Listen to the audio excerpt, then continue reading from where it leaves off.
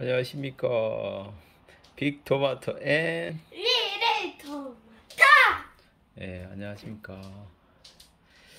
오늘은 두 달 전에 8월 7일쯤에 심은 접시꽃 접시꽃 씨앗을 심고 두 달이 되었습니다. 이렇게 많이 자랐습니다. 행운이는 누구 접시꽃이죠? 제 거요. 네, 여기 handsome이 Handsome Little Tomato UFO는 Big Tomato 제 거고요 쩝쩝이는 누구 거예요? 사람 거요 음, Pretty Little Tomato 거예요 자, 행운이부터 어떤 변화가 생겼어요? 잎이 어떻게 됐어요? 많아졌어요 어, 몇 개인지 한번 세어볼까? 음, 다요? 어, 몇 개, 몇 개? 그래요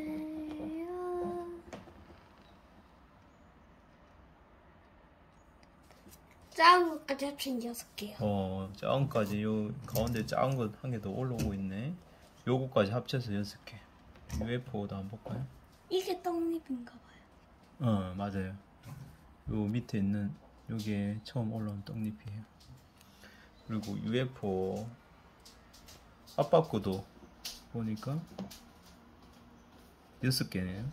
큰거 다섯 개 또 작은 거 올라가고 마지막에 쩝쩝이 쩝쩝이는 벌써 잎이 원래 여섯 개 벌써 많이 올라갔네 여기는 약간 시들해 있네요 그래도 세 개 모두 잘 자라고 있습니다. 내년에는 예쁜 접시꽃을 잘 키우면 볼 수 있을 것 같아요. 오늘 아닐까요? 올해는 안 펴요, 이렇게.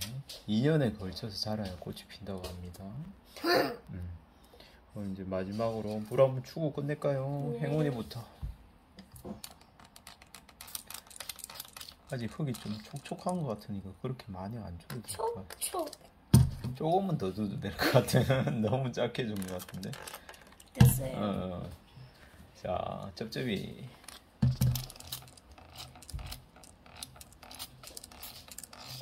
음, 물 먹고 잘 자라라.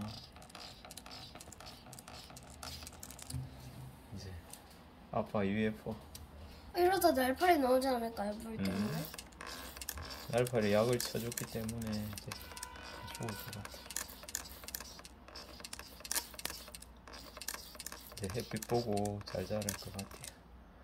네. 이제 쏨 이제 영상 마칩시다. 안녕히 계시고 영상이 즐거웠다면 구독과 별꼭 눌러주시기 바랍니다. 이상입니다. 끝.